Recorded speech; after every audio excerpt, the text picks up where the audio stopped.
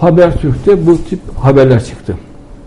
Üstelik beraat ettiğimiz halde bu kişilerin ilgili olarak hepsiyle biz beraat ettik. Ee, biz bu kız çocuklarla birkaç tanesini görüştük. Çocuklar diyorlar yani biz tehdit altında bunu söyledik diyor. Ve halen de korkuyorlar. Evet. Yani halen de korkuyoruz diyorlar. Çekiniyoruz diyor çocuklar. İnşallah. Evet.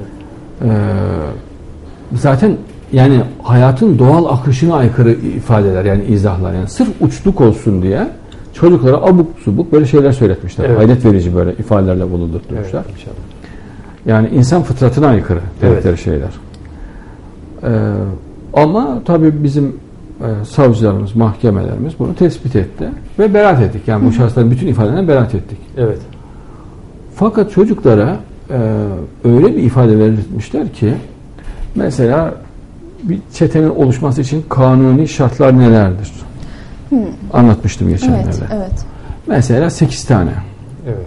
Sen A'yı, sen B'yi söyleyeceksin. Çocuk hakikaten ifadelerin içerisinde sadece A'yı vurgulamış. B'yi vurgulamamış. Öbürü sadece B'yi, B'yi. C'yi vurgulamamış. Öbürü sadece C'yi, D'yi. Evet. Yani bir muntazam matematik sistem içerisinde organize edildiği imajını veriyor. Evet. Yani bu kadar düzgün bir şey olmaz. Yani ispatı da olmayan şeyler zaten. Yani çok izah. Ama topladığında A, B, C, D, E, F, G hepsi tamam. Ee, öyle olunca mahkeme tabii ki o zaman çete yönüyle bakılsın dedi. Yani bunlar bu, bu vatı bayanların iddiası cihetinden beraat ettiriyoruz dediler. Ama bu yönüne çete yönüne bakılsın dedi. Şimdi mahkeme ne yapsın yani?